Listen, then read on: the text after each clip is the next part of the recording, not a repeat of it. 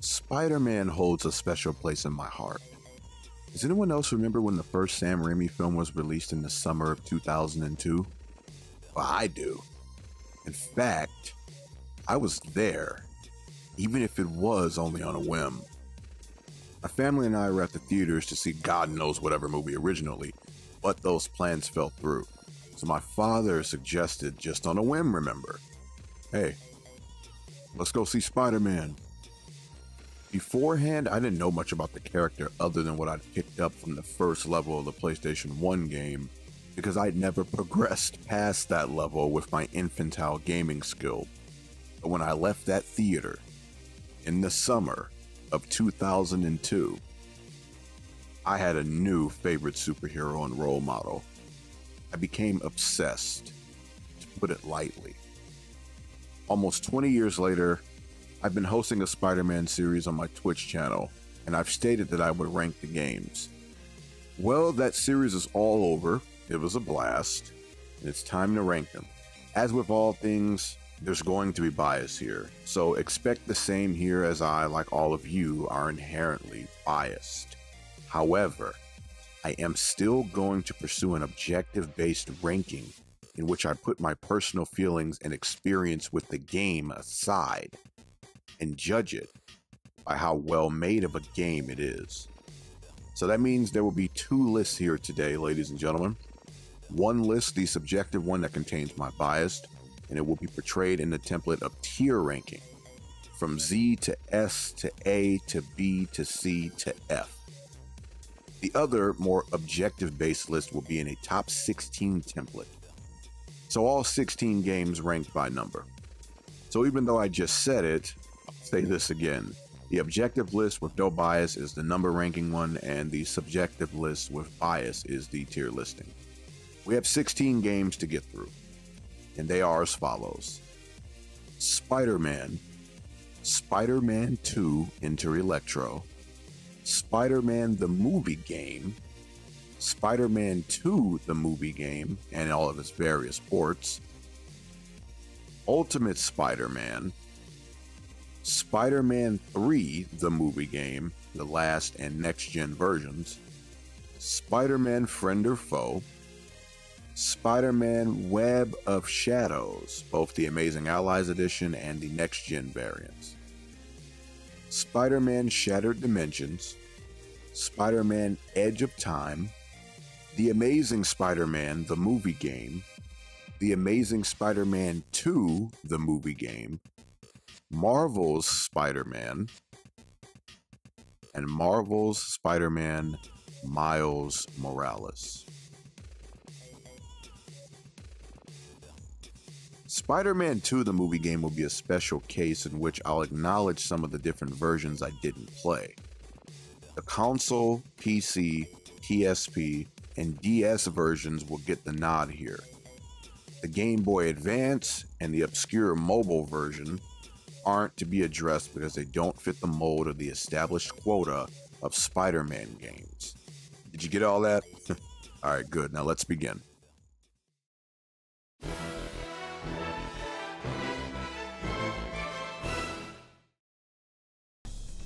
Now, this isn't a console game, and I've never played it a day myself personally. But it counts because normally console and PC ports of a game are similar enough to warrant comparison. Usually, with the PC port coming out on top. That and the console port was a massive success. This game? In one of the grandest miracles, or should I say travesties, of the 21st century the exact opposite occurred here. This is a PC port that's worse than the console version, and it's a bad movie game. I've still, to this day, no idea how they messed up this bad, but they did it. All they had to do was port the console version to PC, and all would have been well. They could have even ported over the PSP version, and it would have been better. On that note, Spider Man 2's movie game has many different ports, all different from one another. There's a console version that I'm sure you know, it's the one that comes to your mind when you hear about this game.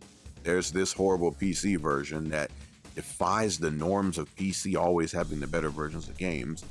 The PSP version, which is the true sequel to the first movie game, gameplay wise at least.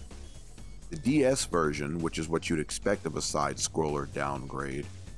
And the N-Gage version, which is a Nokia phone edition that's alright for being an early mobile game. Honestly, the different ports deserve, and I hate saying that word, a video of their own so I'll stick to the PC version for now. It's stiff, it's scripted, and it's stripped down. If you played the console version of Spider Man 2, stay away from this version. Only disappointment awaits you. Stick to watching videos on this game as opposed to playing it yourself. It's dead last on the listing, and it might as well be the same on the tier listing because this is going straight to F.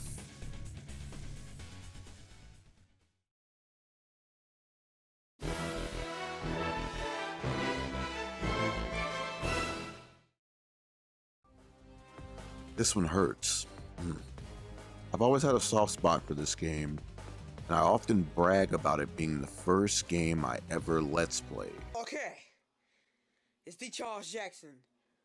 But if I'm going to be honest, it's the weakest of the console Spider Man games.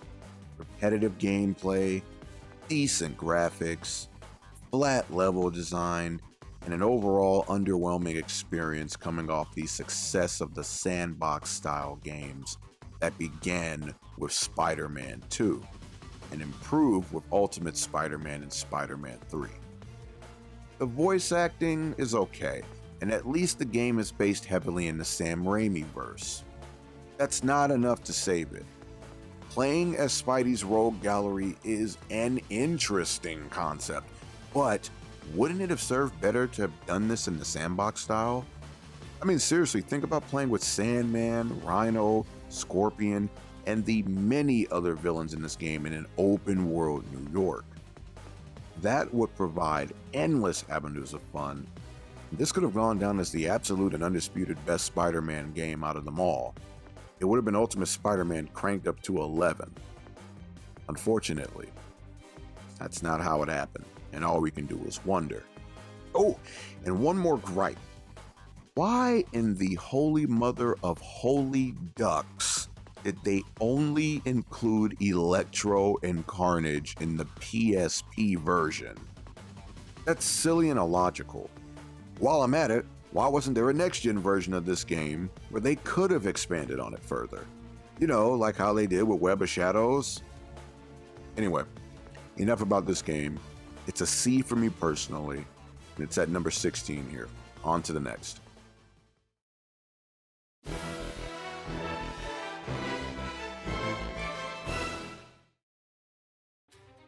Another one close to my heart that I'm going to have to leave behind. I've forgotten how funny the dialogue is and how linear the gameplay is. The ability to make choices, while not as broad as in the next gen version, is still present and makes for some interesting outcomes. There isn't much to expect from a stripped down version of the game, but this one still holds up well with satisfying beat 'em up gameplay and a varying setting. Give it a look before you judge it. That's what I got for you with this one. You'll be surprised at how much fun you can get out of this game. It's going into the B category for me. As a bonus, the Nintendo DS version of Spider Man 2's movie game plays the same way and is similarly ranking alongside this game for me personally, especially considering that it was a prototype of sorts for the Amazing Allies edition of Web of Shadows.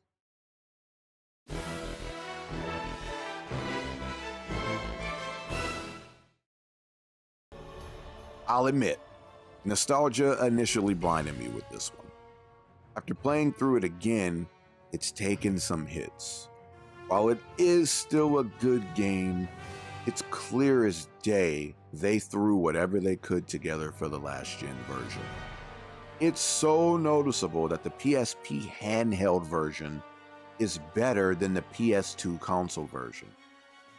Things have been stripped down a good deal from Spider Man 2 and Ultimate Spider Man. The graphics are passable and the environment is bland. But what about the gameplay? It's okay. By that I mean enough to make for an interesting experience.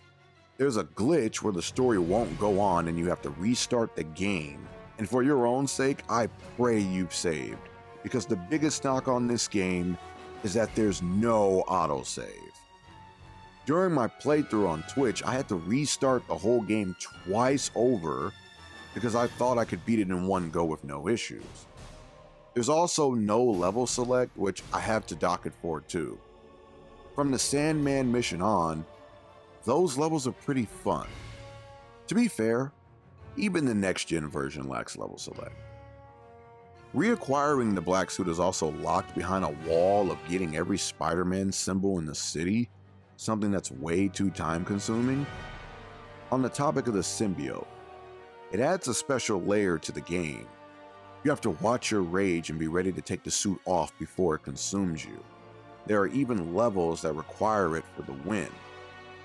Well done, but why does it have to be so hard to get the thing back when we beat the game? I would have also liked the replay option for the game where you can use the black suit in the final battle against Venom to see who's really the superior symbiote host. All in all, good game. The PS2 slash Wii slash PSP version of Spider Man 3's movie game. It's a B from me.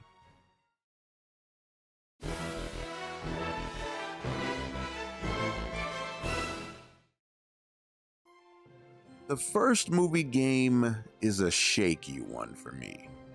I could never beat it back in the day, and it even intimidated me. At one point, I couldn't even get past the warehouse where you chase down Uncle Ben's killer. This game was made in the mold of the PS1 Spider Man games that came before it, but with next gen level graphics. The combos are slick, swinging is slightly upgraded, and the overall controls are okay. The bosses have invincibility frames while you don't. What else is new? Something that will always drive me insane. I like the precedent that this one set of taking the movie story and expanding around it with other materials from Spidey's lore. This way, we get a vision of sorts of how Sam Raimi's iterations of certain villains would have gone down, since they didn't happen in the movies. The Vulture's hideout was a bit annoying but once you get to the boss fight, you get to beat him down, and it's rewarding as ever. There's a stealth factor too when you're in the shadows, and this is a necessity to master when you get to the ridiculously dreadful Oscorp levels. That terror drone thing was a real thorn in my side, and I even made a highlight of all my deaths and rage over on Twitch. Fighting the bosses is fun enough to warrant your mastery of the combos. Ben's Killer, Shocker, Scorpion, Vulture, and the Green Goblin make for a good rogues gallery of battles. And if you'd like to play them at will, you can, because there's level select. There's also bonus mini games like bowling and some combat training. It's a decent experience that shifts from too easy at times to too hard at other times. The first movie game gets a B from D. Charles Jackson. As a bonus, the true sequel to this game, PSP version of Spider Man 2's movie game, ranks equally. It was essentially a reskin of the first movie game with elements from the console version of its namesake. Mysterio is an actual boss in this version as well. There's a decent upgrade system. There's additional cutscenes that look better than the in game cutscenes from the console version. The game also ridded itself of the stealth elements from the first movie game, a definite plus for gamers. All in all, the game comes off as a hybrid, a bridge, if you will, between the first and second console movie games. It is also the final link to the PlayStation 1 style of Spider Man gaming.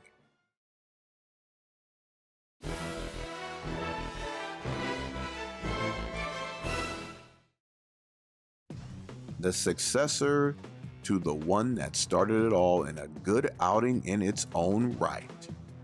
You may be wondering why it's so high up then. Well, despite its improvements, the game still feels like it's lacking something that the first had. It also added frames where you're left wide open to fall to your death or get hit, even if you're using invincibility cheats. That one was a huge letdown for me considering how much I loved blitzing enemies in the first game with Captain Universe. This game brings back all the costumes from the first game and adds some new ones. The greatest feature has to be the Create a Spider feature that lets you choose your costume and three specific abilities. I always loved choosing the Carnage suit and giving myself invincibility, unlimited weapon, and enhanced strength or enhanced web swinging. Let's talk about the levels. Much of the same from the first, but now they have outside ground levels. Still, when swinging above, you can't fall down to the ground or you'll die. This was handled better in the first game because it was written into the plot. This game says screw all that, you can't touch the ground. The levels have been designed to require a better control of Spider Man, but no new control implementations were made to accommodate the player in doing so. Still, it's a fun time, and the addition of bosses that we missed out on in the first game is a welcome touch. Some of the levels can be frustrating, but still a good run. This game is both better and worse than the original. That being said, it's going into my A tier.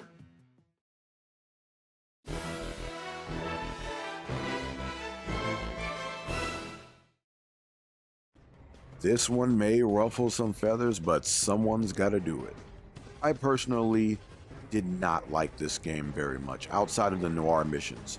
And no, I'm not a Batman fanboy by any means. That's a video for another topic. The premise and all else you'd see looking in from the outside made it look like this would be an almost perfect Spider Man experience. For a decade, I looked from the outside in and built certain expectations expectations that were shattered when I finally got around to playing the game. And I know that's mostly my fault as well. The graphics are cool and they hold up well. I didn't expect an open world experience with this game or its sequel for that matter. I knew that much. However, there are some glitches that should have been found in testing or even patched out. This is a 7th generation based video game by which patches were becoming a norm. Maybe I was ready to be done with it, but I felt it dragged on a bit, especially in the last two levels. I don't like how scripted the controls are, and overall, it feels like a downgrade from games like Spider Man 2, Ultimate Spider Man, and especially Web of Shadows, because I just finished playing that one previously before I got to Shattered Dimensions. Another downer is how you have to buy certain capabilities that should be innate, like recovering while falling, something that's been a norm in most Spider Man games that came before. Without turning this into a massive rant, Spider Man Shattered Dimensions is a C for me personally. It could have and should have been much better than it actually was. Hopefully, the sequel fares better.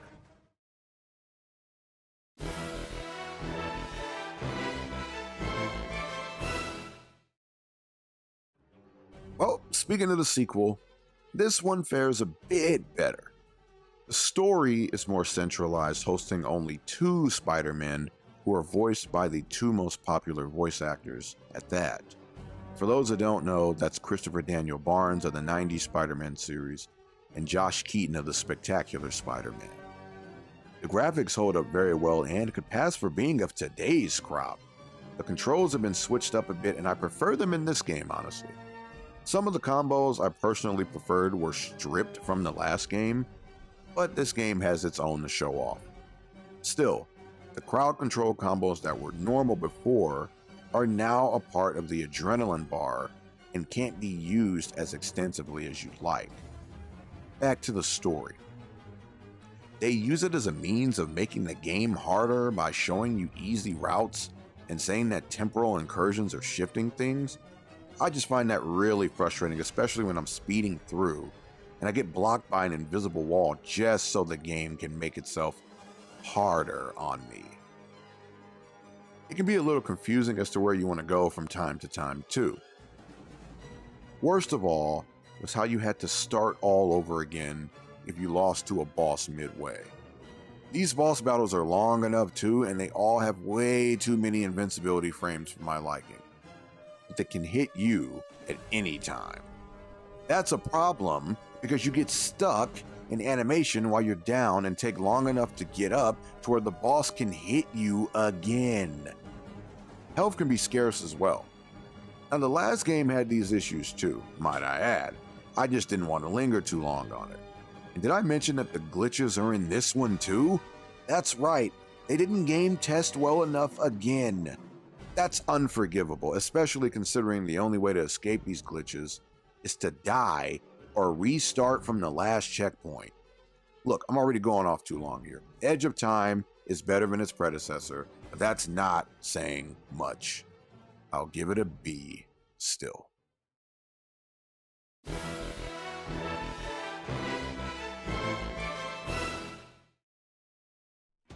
Before you leave the comment on this one, I'm counting the last and next gen versions as the same game, as they feature no major differences outside of minor graphic and loading time improvements. Now, I should also say, with this game, it only goes up from here. The mobile version actually ain't that bad either, but back to the point, this is a pretty good game. I especially liked the web swinging mechanic of using the left or right trigger for the correlating arm. The gameplay is mostly intact from the first with a few changes. Once again, no one from the movies put in the time to voice their characters or even provide their proper likeness for the roles. Personal bonus, for me at least, is the inclusion of Carnage as a villain, as he's my favorite symbiote, even if it doesn't really make too much sense to have him in when you don't have Venom. I should also say, I really like the voice actor for Spider Man and Peter in this game. I think he should get more gigs as Spider Man if the opportunity ever comes. On to the gameplay. It took some adjusting to get used to after playing the first, but it holds up well. The combat and upgrade system is similar to the first game, with the exception of the spider sense colors being switched in regards to what you can and can't dodge. Red is for dodging now, whereas it was white in the first game. As was the case with Edge of Time, this game makes some of the features that were innate into upgrades like throwing big items at groups of enemies. I will never understand why games go backwards like that. If you're a dev and you're listening to this, stop doing this or just don't start to do it to begin with, please. The stealth combat has also been nerfed, something that's a big knock. Before, you could play like Batman and take everyone out from the shadows and use your abilities as Spider Man in a different way than running into a group and taking everyone down via your spider sense, agility, and power. You can still use stealth takedowns in this game, but only one enemy at a time, and even then it's easier to get caught now with no surefire way to escape to obscurity because they removed the retreat action. The web swinging and web zipping has been revamped to polarizing effect. Before, you could web sling from anywhere as your webs went straight up to the sky, and the same courtesy was extended to your web zipping. Now you sling from buildings and you get to use both triggers on your controller to determine the hand you use for the swing. This is a great improvement because it allows for greater control, and they even give you speed upgrades along with a slingshot mechanic for covering distance. However, the map for New York isn't designed well enough for you to maintain your swing when high up in the skylines. That and the delay on when you can cast a web derail the swinging a bit. The web zipping has been painfully nerfed. You used to be able to zip to literally any free point, and Spidey would do the necessary acrobatics and moves to reach that point. Now it comes off as being more scripted in the same vein as Shattered Dimensions and Edge of Time, of how you can only zip to certain points and how you have to freeze time more often than not to find a point. As the game went on, I really started to adapt and enjoy it for what it is a good story that might be better than the films, good voice acting, good graphics, and if I'm correct, one of the last movie games, meaning that this game is the end of an era. It was nostalgic playing it, and the promo I made for it, which you can view over on my Instagram under the same username, the Charles Jackson, really makes me feel some kind of way. This is a good game. Not as good as the first movie game. but a good game nonetheless. I would have loved an Amazing Spider Man 3 movie and game to round things out. The Amazing Spider Man 2, the movie game, gets an A.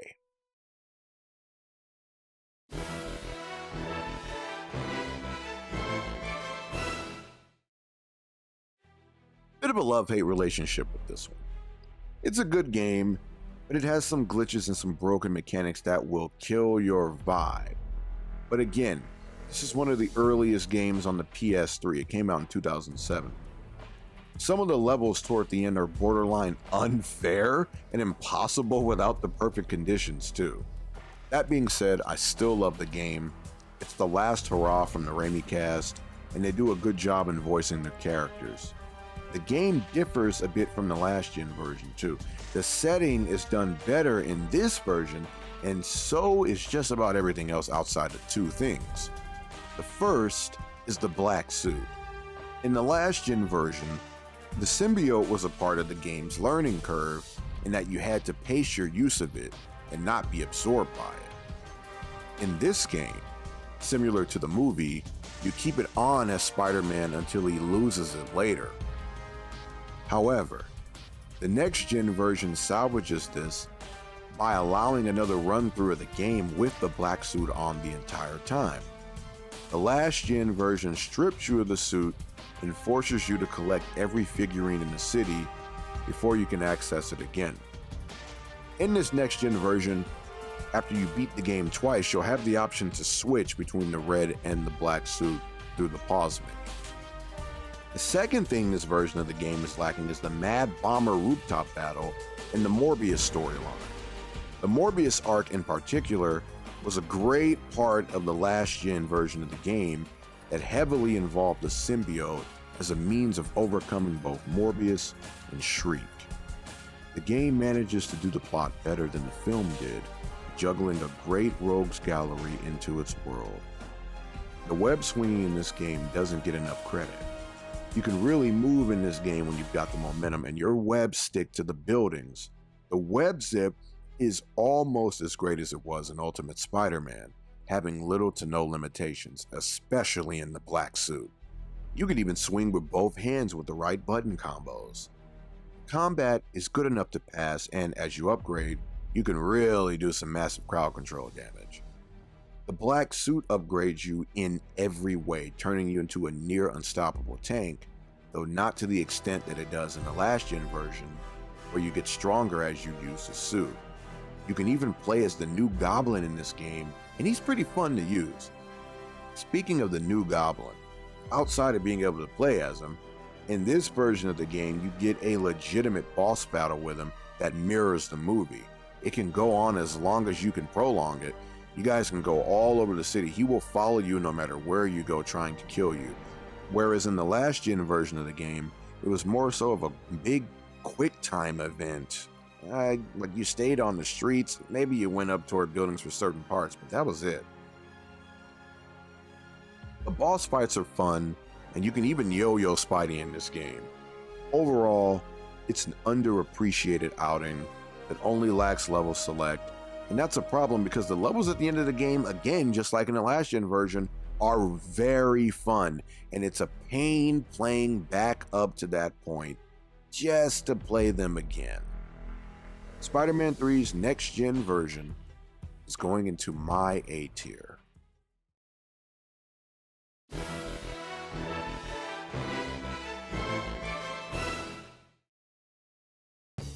the granddaddy of these all that made them ultimately possible. Finally, a 3D game where you got to swing around and beat up bad guys, indoor levels where you could utilize your advantages as Spider Man, graphics that still hold up in the comic sense today, voice acting that gets you pumped and ready to get the job done, and it has level select. It has different costumes or respective abilities. It has a gallery for reading up on your favorite characters. It has cheat codes. It has the Rogues Gallery. It has solid level design. It has a plot good enough to be a movie. Most of all, it has replay value. a replay value that has extended over 20 years past its heyday. It was my first ever PlayStation 1 game, and I still pop this sucker in and play it on my own time because of how great it's been to me. I'm probably missing some things too because this game has much to offer you, even if it is an old PS1 game. Easy S tier.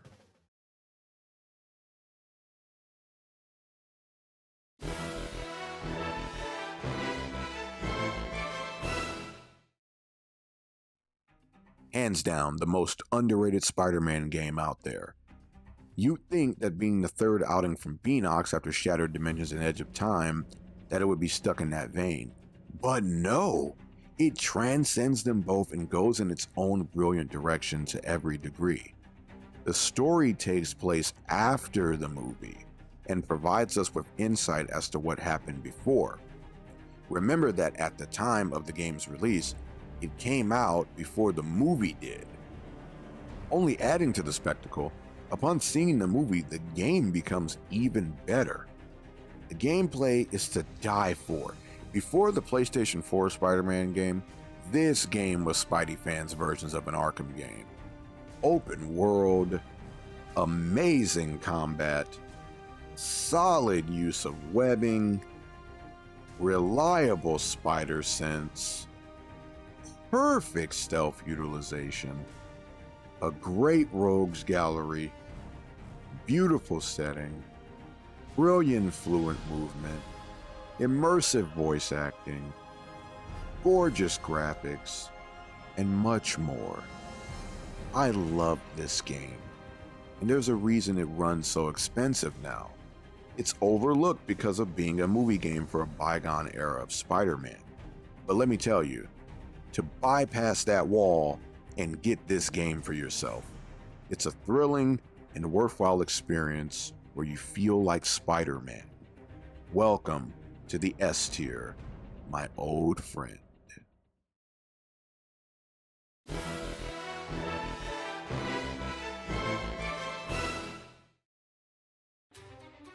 Arguably the best Spider Man game there is, especially considering that it was the last one that all gamers got to experience. Web of Shadows somehow ups the stakes and ante from its predecessors and delivers a joyride of a Spider Man game.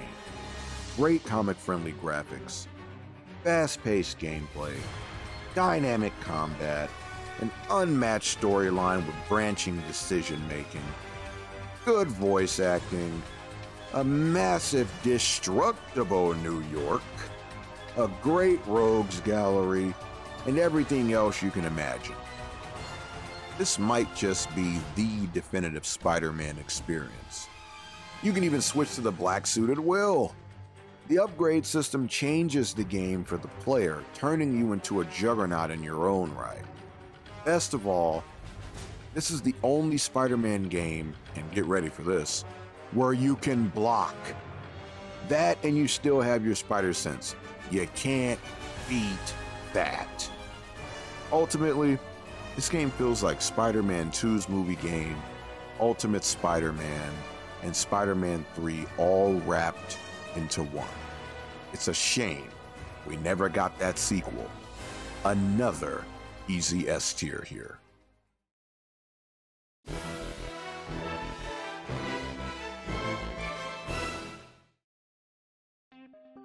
Do you get when you smash Spider Man 2's movie game up with Hulk Ultimate Destruction? You get this. Oh my goodness. They did their thing with this title. I remember seeing it advertised in gaming magazines back in 2004 as coming in 2005 with a still image of Spidey swinging through New York. Super Bam Bam and I were pumped. It came out and surpassed our expectations. The movement is fluid, the combat is impactful, the story is brilliant, the voice acting engages you, the setting immerses you, and the graphics still hold up, considering they're meant to look like a comic. You feel like you're playing multiple issues in the Ultimate Comics with this game. Even the music is all that. I know you hear it in the background right now, it's my favorite one. Playing as Spider Man is slick and smooth. You can do what a spider can, and that's all we ask. Playing as Venom is like playing a different game. You might as well be the Incredible Hulk with all the chaos you can cause, and you can expect some challenging fun. The suit is always consuming you, so you have to feed it by draining the life force from others. You have a massive leap and an assortment of moves to use against unfortunate enemies. The game only gets better as you get in deeper, and the final two levels are Apex Spider Man gaming. This game is what we want from every game we get fun factor. It's worth noting, too, that this game is my own personal favorite of all the Spider Man games. Also, you often hear me talk about how Friend or Foe was the first game I Let's Play. However, Friend or Foe was not the first game I played for YouTube or online. That was this game, Ultimate Spider Man, back in 2009. Hey, I'm the Charles Jackson. Ultimate Spider Man is an S. It would be a Z, but that's a category I'm leaving all to itself, putting my bias aside, remember, if you know what I mean. I don't want to oversaturate the Z tier.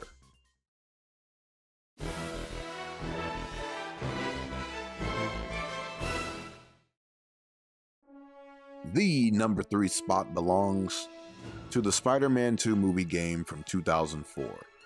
This game had zero business being as innovative, immersive, and flat out good as it was and still is. We could not believe it back then, and we almost still can't believe it so many years later. A sandbox style Spider Man game where you can actually swing around the city in full with practically no restrictions? It was like we were living in the future. The story was based around the film, of course, but it was enhanced by what the devs built around that plot. More villains and more issues for Peter Parker in his life as a superhero. The combat was on point, the movement system was fluid, the graphics were stellar for their time. They even got more of the cast to voice their characters from the movie. A real gem that was way ahead of its time and has earned all praises sung on its behalf. It's still considered the best game by some, but for me personally, it's an A. The game is amazing, but it has been surpassed, and I don't mean by the PS4 game solely. I personally have Ultimate Spider Man and Web of Shadows as all around improvements on what this game started. The big one for me, too, is that I feel this game lacks in the replay department. With the way this story was, I'd much rather have level select, and I don't feel it necessary to play through the game over again to get to certain levels as I would for, say, Ultimate Spider Man.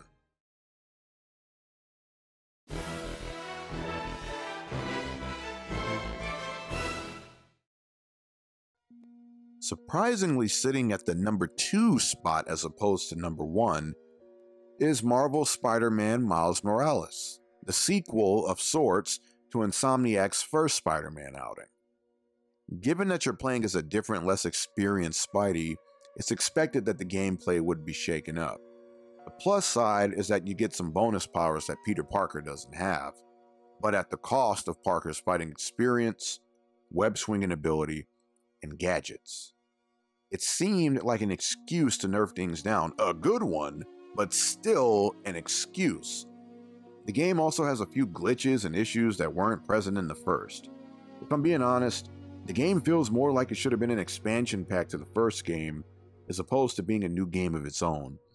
The story, characters, and just about everything else is on point, but there's something missing from this sequel. Something that's hard to put into words. It's like how Enter Electro feels both better and worse than the first PS1 Spider Man. The PS4 and PS5 versions are only differentiated by the graphic quality and load times. Apex Spider Man gaming here still, but a subtle step down from the first of its kind. The next game, however, is looking to be the best yet, and we're all waiting by the day. Miles Morales gets an A and not an S for the reason that I have no real desire to play it again.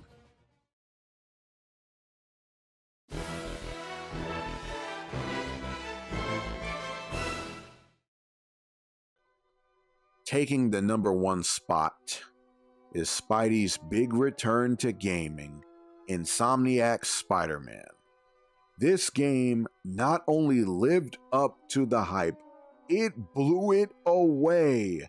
Spider Man 2 was the king of the hill for years in many fans' minds and hearts, even with the release of Ultimate Spider Man and Web of Shadows. But this game promised and delivered the best Spider Man experience. The devs looked back at the best the past Spidey games had to offer and gave it their own distinct touch to go. The story, the characters, the gameplay, the graphics, the DLC, everything in this game is cranked up to 11 from the games of the past as those limitations are long gone. You almost forget those limitations even existed. I remember the level they showcased before release with the helicopter, and everyone, including myself, criticized it for appearing scripted. Many were excited for the game, and many others were both speculative and cynical. Spider Man 2 set the bar so high that we never thought anything could surpass it. I'm glad to report that this game did the impossible.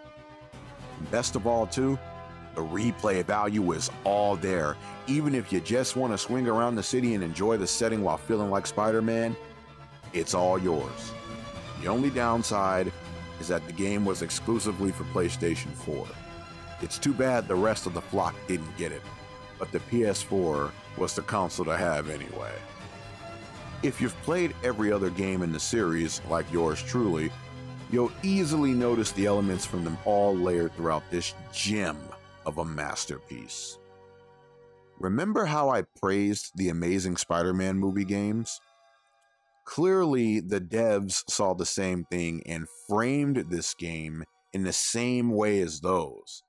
The camera angles, web zip system, and healing abilities are just a few of the imported features from the amazing Spider Man duology. Remember how you had different costumes with differing abilities in the PS1 Spidey games, which revolutionized Spider Man games as a whole? Remember how the first movie game had a solid combo system that could faze almost every enemy? Remember how Spider Man 2 revolutionized the genre again and created a true sandbox Spider Man experience? Remember how Ultimate Spider Man improved on Spider Man 2 with better controls and new mechanics for combat and web swinging? Remember Spider Man 3's police dispatch lady, its quick time events, and its huge map of New York? Remember Friend or Foe's wide variety of characters and broad lore connected to other Spidey mediums? Remember Web of Shadows' hilarious dialogue, brilliant upgrade system, destructible environment, and fast paced action? Remember how Shattered Dimensions birthed a new Spider Man storyline that affected actual canon while also showing the effectiveness of linear leveling? Remember how Edge of Time innovated Spider Man storytelling and produced timeless graphics while honing what its predecessor did? Remember how The Amazing Spider Man gave players a smooth experience where you felt completely in control? Remember how The Amazing Spider Man 2 revamped web swinging and added a healing ability? Yeah. Me too. And this game does all of that, but better. And that wasn't even everything. Everything I just said there, I could make a video on all the things they brought over and made better, and I haven't even touched on the things that they added themselves. These new features include the free fall, the cinematic parkour, the liveliest open world we've ever had, and so much more. It's unanimous. Everyone loves this game, and rightfully so. The only question is if it's better than its sequel, Miles Morales. But that's all up to the individual player. On the subjective tier, this is the one. This game is the one and only Z for TCJ.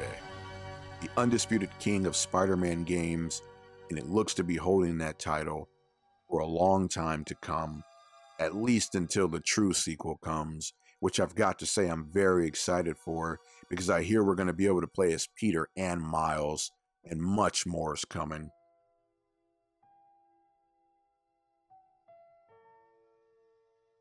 Thank you for watching. I hope you enjoyed.